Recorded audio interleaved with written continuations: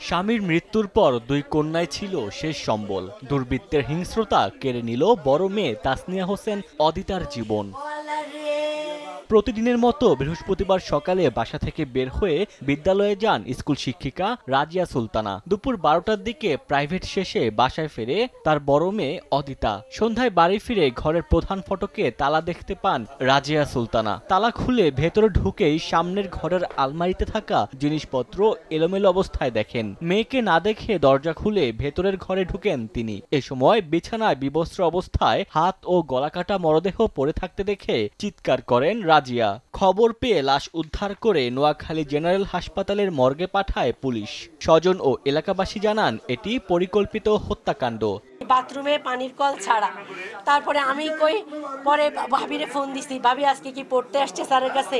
কয় পড়ে গেছে তো ভাবি। আমার মাইয়া নাই। আমরা সবাই মিলে দরজা ভাঙি ঢুকি। দেখি যে মেয়ে এভাবে পড়ে আছে আর কি মেয়ের গলা কাটা। আমরা ধারণা করতেছি ওকে দর্শনই করা হয়েছে। দর্শনের উদ্দেশ্যে এসছে এবং বাসায় এসে লুটপাট করে। বিষয়টি তদন্ত করে জড়িতদের দ্রুত গ্রেফতারের আশ্বাস দিয়েছে পুলিশ। বেশ কিছু আলামত আমরা পেয়েছি। আমরা সাসপেক্টের দিনে কাজ করছি। আশা করি অল্প সময়ের মধ্যেই এই ঘটনা আমরা রহস্য উদ্ঘাটন করতে পারব।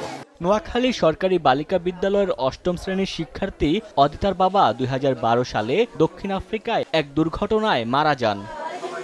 সময় সংবাদ নোয়াখালী।